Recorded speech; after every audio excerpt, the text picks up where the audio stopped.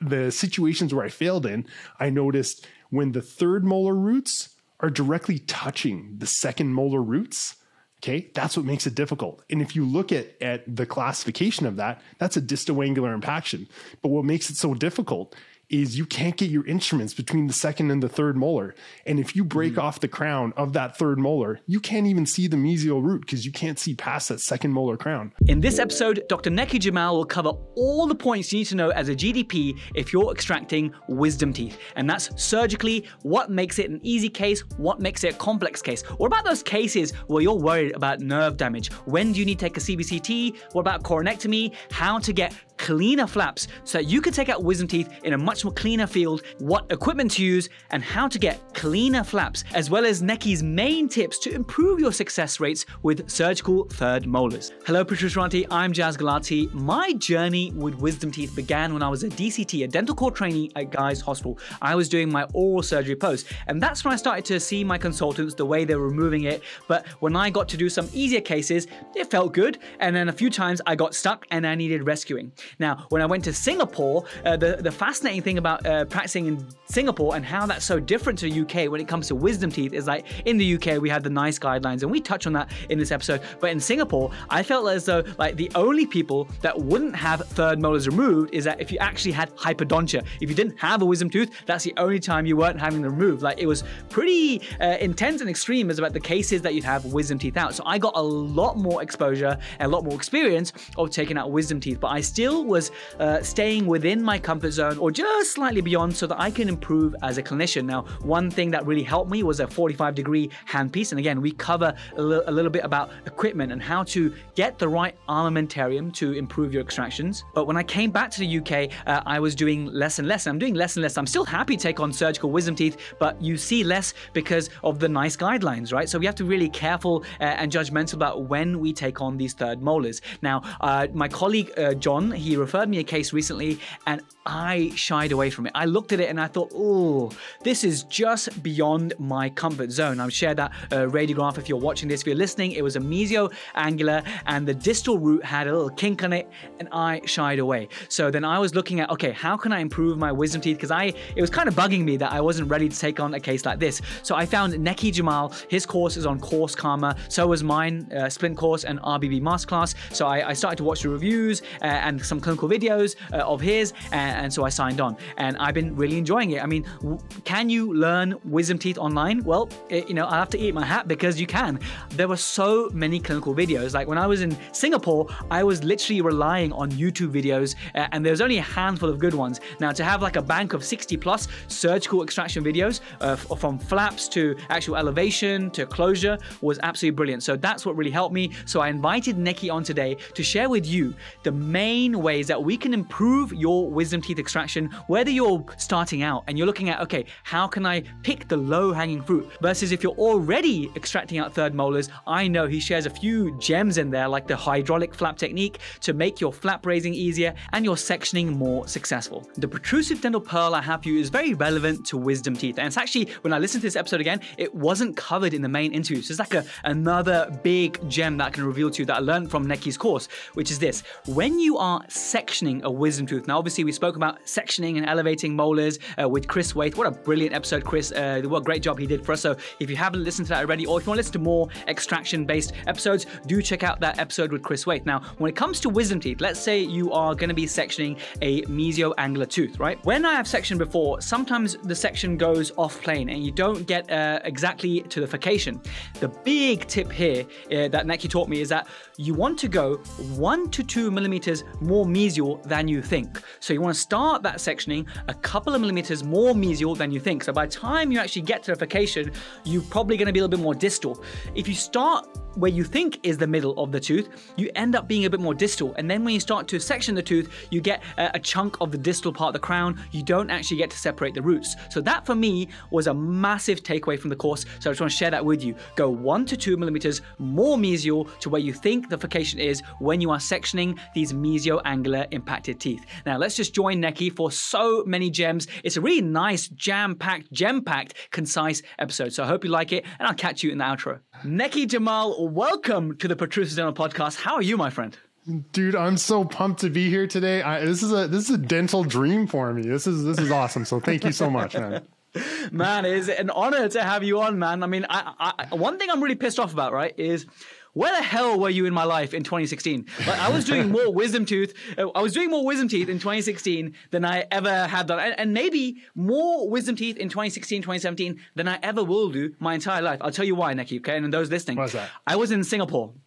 I don't know how much you know about uh, the, the, way they work in Singapore. Uh, probably very similar to Canada, based on what I've seen the videos that you post and stuff. Uh, is the the only people that don't have wisdom teeth out in Singapore is that if you have the agenesis of or hypodontia of the wisdom teeth, like if there's a wisdom tooth in your body, they will find it and they will take it out, right? So I took God. advantage of that because I had a little bit of surgical experience and I, I, was really stepping out my comfort zone. And man, I was relying on the, like these sketchy YouTube videos. Like, where the hell were you in my life in back then, man? But I mean, that I mean, just tell me me what. Tell me about your journey. When did you qualify? How did you get into uh, so much passion and experience with wisdom teeth? You know, oh man, that, that's so complicated. I always found the hardest part about dentistry was connecting with patients. So many patients were anxious, so many patients were nervous, and I found that, you know, by looking people in the eye, I was able to calm them down and they knew I was there to actually care for them, which, you know, I think is a missing part in, in oral surgery period. And it's, it's just knowing the patient, knowing that we're here to help them. And so that's how I started getting, getting into taking out teeth. And I always had a passion for helping out. So I started volunteering around the world. I've been on 19 dental brigades all over Central and oh, South wow. America, taking out teeth and, and helping those that don't have access to a dentist. And, you know, my skills just grew and grew and grew. And, and, um, it, you know, it, it led me to this, but I really, you know, started this without a mentor to help me. I was frustrated. I failed over and over and over again. And, you know, I, I thought, why, why does this have to be that way? So I developed systems. You know, I took every single course I could. I talked to every single dentist I could, pick up lots of tips and tricks. And um, yeah, it got me to where I am today. And, and now it's kind of all I do all day, every day is, is take care of anxious patients and, and take out third molars. So you're limited to just uh, wisdom teeth. Is, is, is that what you, all you do now? Yeah, mainly. Yeah, I'm limited to extractions basically. Yeah, and I'll, I'll do implants too, but uh, it's mainly sedation and extractions and and implants, but it's mostly extractions and, third molars. Yeah. But uh, are you a like board certified oral surgeon or, or, or not? No, I, am a proud general dentist. I love being a general dentist yeah. because I get to learn everything, man. I get to I get to take Jaz's splint course and apply those principles. I get to do restorative. I get to see kids. I get to you know see facial traumas, and you know the same kids I get to coach in basketball and you know fix their teeth when they're a kid. I'm taking out their wisdom teeth when they're 18 years old, and so for me, I'm proud to be a general dentist. Amazing. I, I, love your story and I love your enthusiasm and I love the fact that you're a GDP flying the flag for GDPs. But you know, you're an example of someone who's really found their calling, found their niche within general dentistry. And I love the fact that you're not a specialist, but all the, the videos I've seen of you extract, I mean, you, you've you've taught it to me better than any specialist could, could ever do. So so thank you so much, uh, and for all you do for the dental community. Uh, so let's dive right in, buddy, and and, and help yeah, the GPs who are commuting to work or or sat on the beach. You know, I once had, I once I always check my um, who's listening from you know around the world, and I love uh, two places that really. Um, really resonated with me and really stuck in my mind forever is that in one month, uh, two people from the Maldives listened uh, to my podcast. So I can just imagine like these two dentists on the beach in the Maldives, like, you know, beautiful, and they're just like, you know, eyes shut, just listening to the podcast, which is amazing. And, and two people from Afghanistan uh, listened to me. And I, really? I, don't know if you know, I, I was born in Afghanistan uh, and I'm a, i came as a refugee to the country. So uh, Afghanistan's got a huge uh, special place and connection with me. so I was amazing in one month. So wherever you're on the world listening right now, I hope that Nekky and I are going to take you on a journey to help you to to remove wisdom teeth more proficiently, uh, better surgical technique, and to avoid failures. Just like you experienced so many failures, I experienced so many failures as well. Lots of frustrations, messy flaps and stuff. We're going to get into that, but no more after today's episode. So, first question for you, Nekky, yeah. is let's start with let's start with easy cases. Like if you're a new grad, right, and sometimes you're like looking at wisdom teeth and you're just automatically scared because it has that label, right, wisdom tooth. Yeah. What are the features clinically and radiographically to look at that that that make that deem these wisdom teeth as low hanging fruit? What are the easy ones? What are the features that we should look out for? For sure. And you know, and to your point, I think it's it's embarrassing that our dental education, our, our, dental schools aren't teaching us how to safely and efficiently take out third molars. And it, it's almost like a letdown to us. It's a disservice uh, to our patients. So um, no, I'm glad to share a, a bunch of secrets today and a bunch of tips and tricks. But if I was going to say a low hanging fruit for new grads, you know, you want to start with younger patients. One of the main complicating factors of third molars, especially taking out third molars, is older patients tend to have, you know, more dense bone. Their roots are fully developed, and we know uh, third molars they tend to have big curvatures or dilacerated roots. And, you know, those older patients are going to have more uh, postoperative complications as well. So when you're getting into third molars, maybe stay away from, from some of those. If you want to dive into third molars, maybe take on cases with younger patients. So my favorite time to take out third molars is anywhere between 14 and 25 years old, 14 only if they're like, you know, developed already. Um, but you want to go after conical roots. You don't want to have, you know, multiple roots that are, that are divergent and and, and they're just, you know, grabbing in there because those aren't cases to start out, out with. You want to start with conical roots, maybe not fully formed roots. So, you know, if a tooth just isn't coming in the right way and the roots aren't fully formed and they still have a bit of a follicle around them, that's a great time to get those third molars out of there because they're only going to cause problems. And so, if you want to get into third molars, just stick to younger patients because uh, chances are you're going to have more success. I mean, I had flashbacks of you mentioning about conical roots, and I remember being a DCT. So it's like uh, one or two years out of dental school. I was in a guy's hostel, uh, and I started doing these wisdom teeth, and uh, I had one on my list, one of my first ones. Uh, and at the time, like I wasn't so great at assessing radiographs of what makes a, a simple extraction versus a complex one. Uh, and I had one yeah. with with conical roots, and literally took the luxator to it, and it popped right out. And that that, that day, I felt like, yeah, I'm a champion, you know. And then you see uh, other teeth, and you're you know you're really in the depths of despair you're really struggling and you feel like the worst, like a, you know too well that a, a, a difficult wisdom tooth can, can, can humble even the most experienced oral surgeon, right? So yes, conical roots on young people. Now, people listening around the world right now would have heard you say, you know, 14 to 25 age, uh, and anywhere else in the world, but yeah, that, that makes sense. But in the UK, we have these NICE guidelines, right? I was just going to say that. Totally. They're messed up, man. Nekky, you know yeah. that. They are messed up. The amount yeah. of people I see on a monthly basis who absolutely have their, their, their second molars destroyed from caries from these third molars is ridiculous. Um, so, yeah, in the UK, we're in a, a crappy situation, which is why I said that in Singapore, I was taking out more wisdom teeth than I am in UK at the moment, even though I'm like far more skilled and knowledgeable now compared to when I was back then. Absolutely. And it comes down to caries, periodontal concerns, uh, you know, association of, of potential cysts and tumors, external root resorption. Like there's there's so many reasons why we don't need to have those third molars in our mouth. And then, you know, when that patient is 40, has a bombed out second molar, uh, a mesioangular or horizontally impacted third molar, you end up taking out an extra tooth there when, you know, that tooth probably wouldn't have had to come out anyway.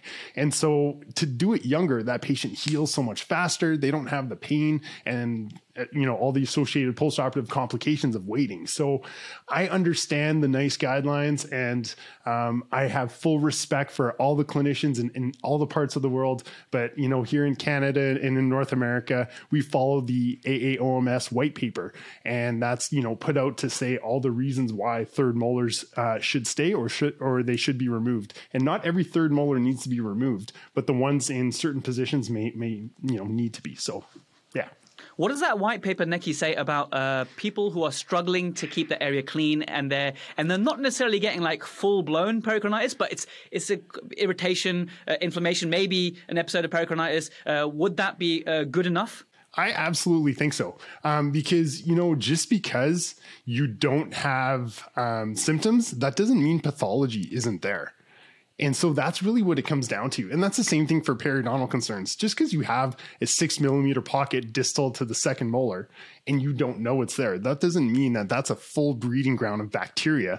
That's, you know, harboring bacteria that can go all over. And so I, I'm a firm believer in, you know, taking out third molars as they need to be taken out, especially, you know, if you consider where all the bacteria is. And in pericoronitis, it's only going to get worse. And so the younger the patient is, I think just the better it is to get those out of there, especially in cases like that which is why the, the NICE guidelines are so frustrating. But let's let's not uh, uh, you know delve too deep into that. It's out of our control. Yeah. Hopefully, in the UK, we can improve that. Uh, but still, we can you know we can improve our technique when the when the time comes to do it. But we shouldn't fall into the trap of that really difficult one that perhaps we think, okay, we should be referred. So, what are the the main features in a radiograph or clinically that you that help us to know that whoa, this one's maybe really tricky and we should refer this? You know, uh, this took me years to develop, and I kind of made my own guidelines. And uh, you know, I read a ton of research papers. I've, I've done a ton of third molars. I've failed on a lot of third molars, and I started to go back and see like, what about this X-ray did I find so difficult? What about this patient did I find so difficult? So honestly, let's just break it down. Okay, so let's look at angulation. If you're going to take on third molars, everyone's looking at angulation first. Okay, so mesioangular is a lot easier to take out than a distoangular. And we'll talk about the reason for that in a sec. And a lot of uh, like GDPs, they get stuck right away. They, they can see a third molar and they're like, oh, I can take that out. I can see it. But if that tooth is distoangular, that's what makes it so so difficult. So that's where a lot of GDPs get stuck. Um, age right off the bat older patients, like we said before, going to be much more difficult. Um, root development is the roots fully developed? Are they partially developed? Or you know, are are there any roots at all? You know, fully developed roots are going to be much more difficult. Um, PDL space is there you know, a, a, tiny PDL. Is there a PDL, especially on older patients? No PDLs. That makes it more difficult. But these two characteristics right here, which I want to talk to you about, these really set the stage for me in looking at third molars and easily being able to determine is this going to be easy or is this going to be hard? So the first one I want to tell you about is proximity to the second molar. And no one taught me this, but experience myself. And so I, you know, I failed over and over again. And the situations where I failed in, I noticed when the third molar roots are directly touching the second molar roots, okay, that's what makes it difficult. And if you look at, at the classification of that, that's a distoangular impaction. But what makes it so difficult is you can't get your instruments between the second and the third molar. And if you break mm. off the crown of that third molar, you can't even see the mesial root because you can't see past that second molar crown. So that played a huge role for me. Have you found that too? Hundred percent. But the, the, way you uh, taught it to me was um, different or better than any other way. Like people just say, "Oh, distoangular is difficult." Yeah, remember D D distoangular difficult. But it's the whole looking at the root and, and, and the lack of space that you have to put your instrument. And then when, you know when you taught me about uh, keeping a, a, lever, it is the, that term you right uh, and the handle. Sorry, keeping a handle, yeah, keeping the, the, the handle, handle yeah. and that was exactly. Yeah. So just explain about uh, what, what, what you mean by keeping the handle. Yeah. So um, a lot of and like to be honest, there's multiple different ways to take out a tooth. As long as the tooth comes out, that's the right way. I like to teach keeping the mesial part of the tooth for as long as possible, especially when you have that, you know, close proximity when the roots of the third molar are touching the roots of the second molar. And so keeping that mesial part of the handle gives you almost an ori or gives uh, the mesial part of the tooth gives you uh, almost like a map to the tooth. If you lose your crown, you almost lose your ability and your orientation of where that tooth is. And so I find by removing the distal half of the tooth, I can create space in the socket to manipulate that tooth to to you know extract the tooth. But a lot of GDPs, you know, they go after that mesial part because they feel like that's what's holding it up, and uh, and I find it's always the the distal part, you know, that's either hitting distal bone or it's you know caught up in the soft tissue. So I try to keep my mesial handle as much as possible. Okay, so uh, proximity to the second molar. Uh, any others? Yeah, my last one here. And this is what I call the depth of application. So since we're keeping the mesial portion of the tooth, we're usually going to be elevating on the on the mesial um, on that mesial crown there at the CEJ. And so what I like to do is um, I like to separate the second molar roots into thirds. So we set we section it like the most uh, top third here is easy, the middle third is medium difficulty, and the lower third of the second molar root is difficult. And if we match the third molar up to the second molar roots and see where the mesial CEJ is of that third molar, we can almost have a guesstimate of how difficult this tooth is going to be to access. So if that depth of application is deep and it's you know very apical in relation to that second molar that's often going to be a very difficult tooth to get to and it's going to be a difficult tooth to, to remove and so a quick and dirty way of looking at it at a difficult case real quick is just look at the depth of application in relation to that second molar root and you almost have a telltale sign of you know how easy it's going to be to get to this tooth Okay, brilliant. And yes, I can certainly uh, visualize that. Trying to trying to put your instrument, your luxator or elevator, at that point, uh, and how much uh, less visibility you have, the deeper it is. So uh, that's covered that uh, nicely. Uh, the thing that really concerns most of us when we're starting out with wisdom teeth is as well as assessing the difficulty is is the nerve right like we like i want i i am personally like i have got a phobia of being responsible being that dentist who caused that nerve damage on a patient. So um, I remember in that same job role, I told you about that DCT position at Guy's Hospital,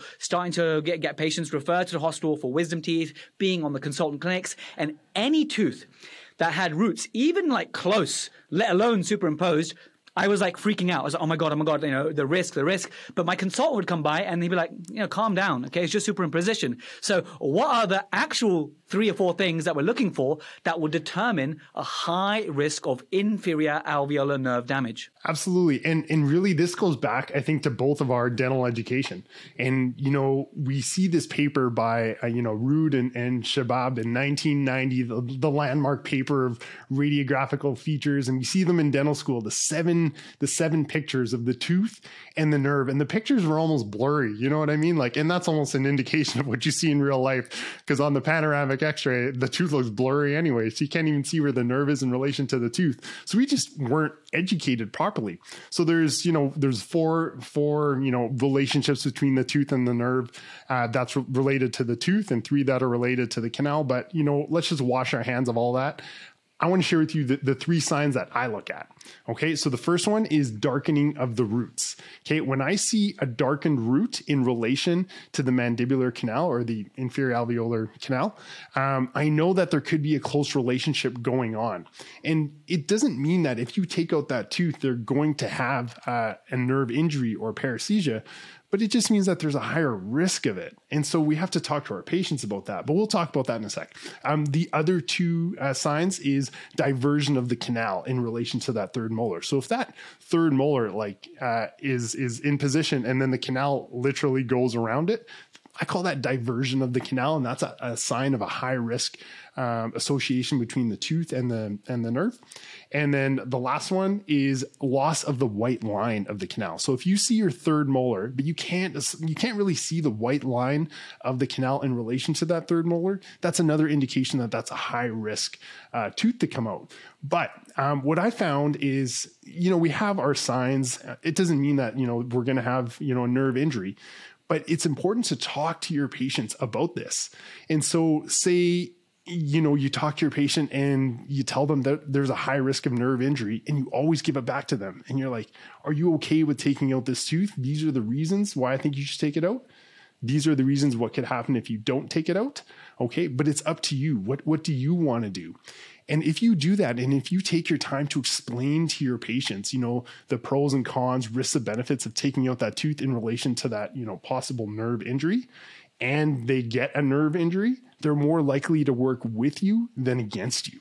And so patients always do much better with explanations than with excuses after the fact. So you have to take your time to educate your patients, show them, you know, why this is a high risk tooth and what would happen with a possible nerve injury. Amazing. So darkening of the root, uh, deviation uh, of the canal, and loss of the continuity uh, of the of the cortical lines uh, of the inferior alveolar nerve. Those are three main signs, as you taught me as well, uh, and that's really useful to go by. Now, as I told you, my fear of being that dentist who's ultimately responsible. So uh, my threshold for a CBCT is quite low. Like if I see, if, if definitely if I see any of those three signs, I'm thinking, okay, CBCT.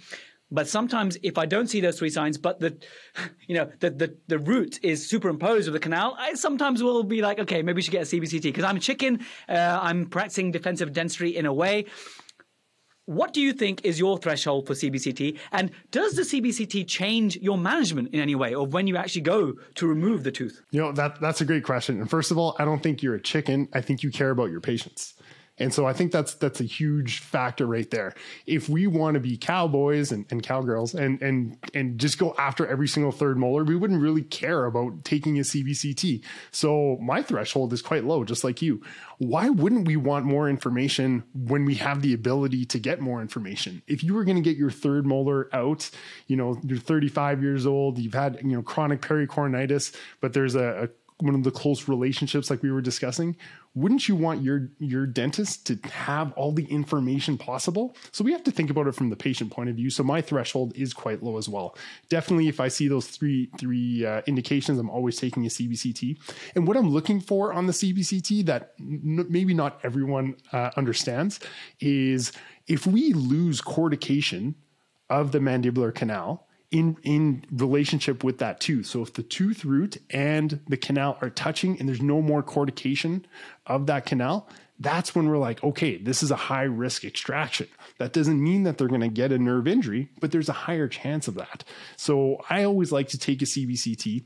And the other thing that I'm looking for on a CBCT is the tooth in relation to the cortical plate. So in cases where we see darkening of the root, that may indicate that we have the, the actual tooth roots embedded in that lingual cortical plate or actually extending beyond it. And so, what if you break a root tip, you know, which may happen, and then you go fishing for that root tip? And you can push that root tip into a, an anatomical space because it's already beyond the lingual plate. But if you didn't have that CBCT, you may not know that. So I think the mm-hmm. CBCT provides you invaluable information, and I encourage you to take them whenever you're unsure. Amazing, you covered that really well. Now, one question I also had when I when I uh, told everyone on the Telegram group that hey, you know, we're going to be talking wisdom teeth with Nekky uh, is Cameron Ali. He had this question about uh, coronectomies. Okay, when would you? Uh, and obviously you covered it in the course. Are you intimidated and just not confident when it comes to taking on third molars? Feel like you're in this profession all alone without a mentor to help you you with those tricky wisdom tooth extractions? Yeah, I did too, but I got you. Let me guide you through the entire process of taking out surgically impacted third molars. You don't have to go at it alone anymore. I will walk you through from start to finish with real life clinical videos of treatment planning cases, assessing risk, PAN and CBCT analysis, the tools you need for the job, and all the tips, tricks, and tutorials of extraction techniques you'll ever need. But most importantly, I want to teach you how to manage the surgical and post-operative complications, because at the end of the day, I know you want to do what's best for your patients. Don't let fear stop you from growing your practice and taking your surgical skill set to the next level. With clinical videos, lessons, and an optional online mentorship through one-on-one sessions, I want to share my experience and my passion for third molar extractions with you to set you up for success. We got this. Let's go. But when would you consider a coronectomy, which leads on quite nicely to, to the talk about risk and CBCTs? Absolutely. I think a coronectomy is a great option when you do have a high risk scenario. So, say you have an older patient um, who is more likely to get a you know post operative uh, nerve injury in comparison to a younger patient, you know, with a similar relationship. Um, why not do a coronectomy? But you have to do the coronectomy properly. You can't just cut off the crown and then expect you know everything to be okay. There's a couple tips and tricks uh, maybe I can share with you here. If you're going to do a coronectomy in a high risk, you know, uh, nerve possible nerve injury situation, you want to make sure you remove all the enamel of that crown. So what I like to do is I like to cut off that tooth root. Uh, or that tooth crown three millimeters below the CEJ, and that way we ensure that you know all that um, all that enamel is gone because the the thought of a coronectomy is if we can bury the roots, we want bone to gr- grow over top but we know bone doesn't grow to enamel. So you have to make sure you get rid of all the enamel. So I like to make sure that my bone level is three millimeters above my actual root. Okay, so there's a three millimeter gap there. And second, you you want to make sure, in my experience, when I do coronectomies, I always try to get primary closure. If I don't get primary closure, I find you know it doesn't always close up the way I want it to, um, and you know that that could be okay. But try to get primary closure. And the cool part about a coronectomy is one of two things are going to happen.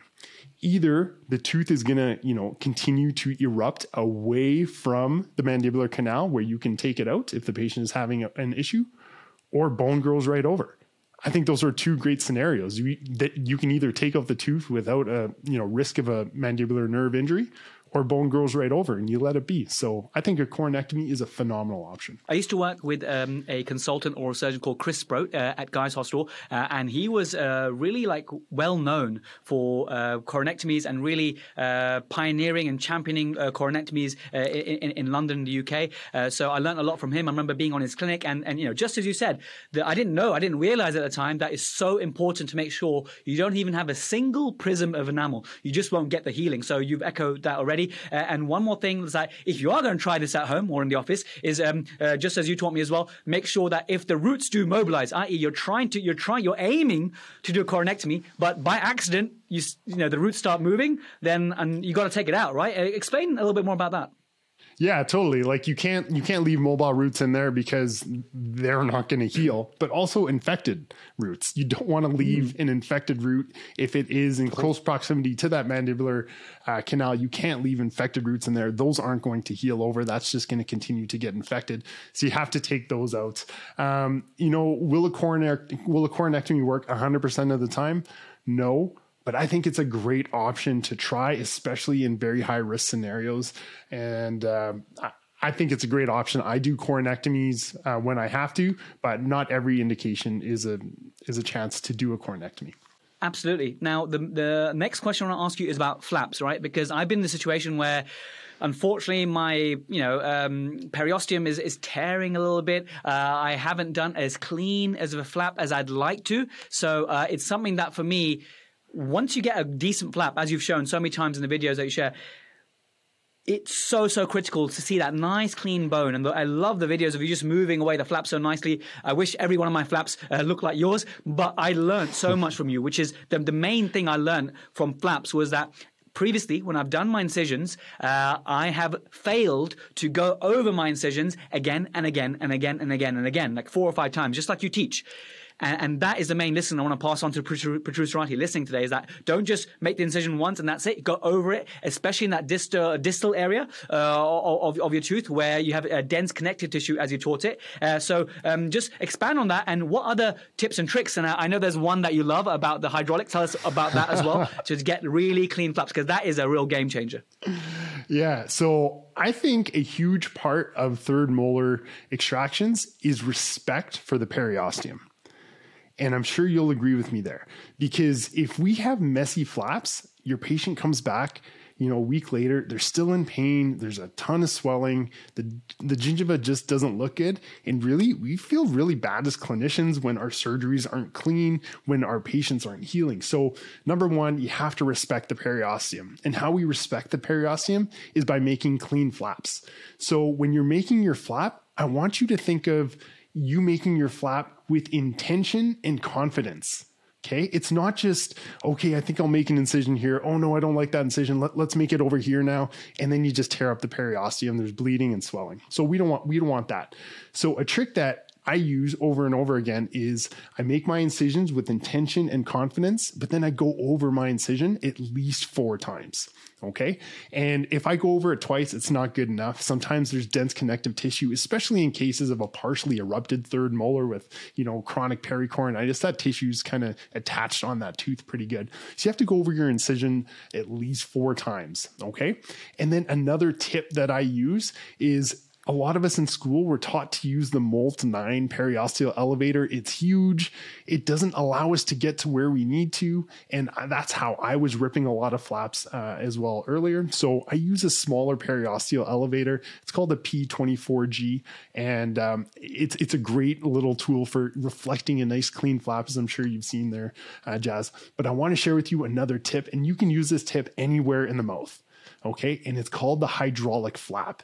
And what we need to do, and the goal of whenever we reflect a full thickness flap, is we want to get that periosteum right off the bone. And it's just so clean when it comes off the bone. We don't want to tear the periosteum. So, a little trick that I do is I'll use a short uh, needle, like for anesthesia, and I'll just inject my lidocaine all the way to bone, all along my flap, and I almost bubble up the tissue a little bit. And you know exactly what I'm talking about when you just hit bone and then that tissue bubbles off. And that's that hydraulic flap I'm talking about. So then when you make your incision, that flap literally peels right off the bone because we've already got that periosteum off the bone. And that's a a tip you could use anywhere in the mouth, and it just works great. That's a, a, massive tip, and it's, it's, funny, you know, you, you wait for these gems, and then uh, they come along at the same time. So uh, George talked about uh, hot pulps and failed ID blocks, and he he mentioned it to me um, about uh, eight weeks ago, and then I saw it again on your course, and you actually had the, the clinical demonstration of it, and I thought, wow, this is so so good. Uh, so um, I just want to just uh, ask you a little bit more about that. When you are injecting, are you in the attached uh, gingiva, or are you more in the um, beyond the mucogingival line in the free tissues when you're doing that? Yeah, that's a great point. I actually go right at the mucogingival junction. And so okay. it's it's easy to do. So you get a little bit of both. Um, I find if you go in the mucosal area, the flap usually reflects quite easy off that anyway. It's usually around the mucogingival junction and, and the attached tissue that you have to start reflecting your tissue. And I always start, you know, at the papilla and uh, I, I go, you know, distally from there. So that's what I found works really well for me is just injecting along the mucogingival junction. And you just want to bubble that tissue. It takes, it takes not even two seconds. So it's a great tip to do. I mean, that's a top tip. So uh, I'm, I'm, I'm, itching to go for my next wisdom tooth case, so I can I can try it. Obviously, we had the uh, a mentoring session which you gave me, and we talked about this case that's upcoming for me. So I'll let you know how that goes. Um, yeah. And armamentarium, like uh, when I was in Singapore, and I keep referring back to Singapore, but that was a big part of my journey with wisdom teeth because I was just doing uh, a lot more of them. I knew um, I I hated using the straight handpiece. I used it once in hospital. I just hated the access. I know you use both and you're very proficient at both, but I needed something that was super GDP friendly. Uh, and so I bought the, the 45 degree NSK uh, handpiece uh, while I was in Singapore because uh, the uh, exchange rate was good and it was uh, on offer. So I was like, yes, this is great. I also bought myself a, a, a normal um, red ring electric handpiece for my preps and stuff. absolutely fantastic. L- love, love these handpieces. But the 45 degree one, it's like purpose built for wisdom teeth and for sectioning. and, and, and when I, when I saw on your course that you were recommending that hand piece. I was like, oh my God, I'm so lucky that I actually have this exact same one that Nekky uses. So tell us uh, uh about armamentarium and maybe just give me a few tips for, you know, if I eventually need to use a straight handpiece and do tell us when you might think uh, we need to use that surgical handpiece rather than the 45 degree, i.e. what might be a potential disadvantage of that 45 degree handpiece? Oh, totally. Okay. So first of all, I use a 45 degree angled handpiece 98% of the time. I love my 45 degree angled handpiece, and I know we have the exact same one. And I just think that they're the best handpieces out there. And I think as as GDPs, we like using things that are familiar. So if the a 45 degree angled handpiece is not too different from our regular um, handpieces that we use for you know operative dentistry. So um, I love the 45 degree angled handpiece. It feels great and it gives you good visibility. Now um, the problem with the 45 degree angled handpiece okay, is you're always going to wish your burr was just a little bit longer, especially if you have a more impacted tooth. You're going to wish you just could get a little bit deeper. And unfortunately, you always you can't always do that. So that's when a straight handpiece comes into play. But even for me, I feel a straight handpiece is is not. I don't get the same tactile ability as I do with a, a straight handpiece. I the, the straight hand pieces always just feel a little foreign to me as well. Um, where a straight hand piece shines is for horizontally impacted third molars when that furcation is just a little bit deeper because your 45 degree angled handpiece may not be able to get all the way to the furcation to section the roots just because of the position of it. So that's where a straight handpiece works well. But for, you know, a vast majority of the cases, 45 degree angled hand pieces are the way to go. They're easy, they're reliable, and uh, they feel normal in our hands as, as, GDPs. So I highly, highly recommend them. Yeah, absolutely. I, I love the 45 degree one. But with the straight hand piece, I found that um, access to there. It's just probably because it's unfamiliar the way you hold it in your hand, and also the patient's lip. You have to move it, uh, uh you know, to get access to area. You have to really, you know, m- move that cheek out the way a lot more. But you know, it's also one of those things that the more, if I was to use uh, the surgical handpiece more, the straight one, then I would become better at it. So it's one of those things that you know, the more you effort you put in, the more time you put in, the the, the more proficient you would, you would become using that particular uh, armamentarium. For sure, but for GDPs, like we're using not everyone is going to be doing third molars all day. So is it, you know, worth the investment to spend a ton of money getting a straight surgical handpiece? Or can you use that 45 degree angled handpiece and you can use it, you know, to section an upper first uh, molar and you can section a lower third molar. So I think, you know, in terms of, um, you know, armamentarium, that we can use everywhere eh, as as GPs, I, I would go with the 45 degree angle myself. That was one of the best investments I've made in, in equipment. Um, that that 45 degree No handpiece because uh, I took out loads of wisdom teeth in Singapore, uh, and it was all thanks to that handpiece uh, because it just gave me the confidence and uh, the access that I really needed. So uh, I'm again, like I said, I'm so glad that that's the one you recommended as well. Uh, which takes me to my uh, last question, Nekky, before we just do the outro: is your big three tips, okay, to dentists everywhere who maybe uh, are have taken a few wisdom teeth out for, uh, and they just need uh, a, a few nuggets, a few gems. Can you just share with us your three magic Nekky tips? No problem. No problem. Okay. So, my first tip right off the bat clean incisions, respect the periosteum, clean flaps. The cleaner your flap is, the, the more you'll be able to see, the less stress you'll have because you're not constantly pulling on your flap, and the faster that patient's going to heal. So, right off the bat, you have to get good at flaps. No more messy flaps. And, and Jaz, just like I showed you, flaps do not have to be messy. You just go over your incision numerous times. You use the right uh, instruments and you know where to make your incisions to just literally open that area up so easily and so quickly. To make a messy flap takes longer than it does to make a clean flap. So, right off the bat, you have to get proficient at flaps and it's not difficult. Um, two, is the key to third molars, in my opinion, is hitting the furcations and sectioning teeth. If you want to get faster at taking out third molars, hit your furcations. And I made stickers, and it's and my stickers all say I give them to all my people, and I'm like, man, hit your furcations, and that's what third molars is all about. If you get good at hitting your furcations, you're taking out third molars. Okay, and lastly, after you've taken out the tooth, it's all about rinsing your flap. I'm not rinsing the socket. I'm rinsing my flap. If we can get all the little shards of bone and tooth and all the gunk that comes along with extractions off of our periosteum before we close it up, you're going to find patients heal so much faster and they don't come back with a lot of postoperative concerns. I feel a lot of postoperative concerns comes from having messy surgical sites. So if we can have clean flaps, we rinse the area, smooth bone, we use a bone file after we take out third molars. We don't want jagged bone around there. Everything's smooth, everything's clean. We've rinsed our flap and we close it up, you're gold. Amazing. Nekky, you've honestly uh, covered so much in the last, I don't know, like 35, 40 minutes. Uh, that was really uh, gem packed, as I like to call it. Uh, I mean, the way I found you was um, um, basically my colleague John. I know you listen to this. Hello, John. Uh, baby number two coming for you soon, uh, John. So I'm very excited for you, John, when you listen to this. So John works with me. Uh, he's actually my boss. Uh, and he referred me these wisdom teeth. And I looked at them and it was just just tiny bit beyond my comfort level, right? And I shied away. And it was really bugging me. and it was really bugging me that, okay, I wish I had uh, someone to, to mentor me, hold my hand through this. Uh, and so that, you know, obviously I saw your course on Course Karma. Uh, you know, Splint course also was on Course Karma. So was the RBB Masterclass. Uh, so then um, started speaking. Uh, I've been doing your course now. You had that one-to-one mentorship with me as well to discuss exactly those cases. So if anyone wants to see how to take out this, this wisdom tooth, this mesioangular wisdom tooth, which which did actually concern me and worry me.